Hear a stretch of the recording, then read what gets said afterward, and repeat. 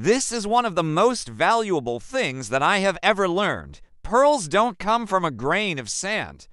The most valuable pearl that I have ever seen was $10 million.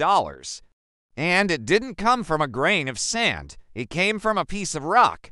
When a pearl starts forming, it's actually a reaction to a piece of rock or something irritating getting caught inside the oyster. And over time, the oyster will coat that in layers of nacre, which is the same material that's in your fingernails and in the shells of eggs.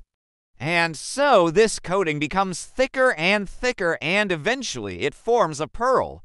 But here's the thing oysters can't control how big the pearl gets.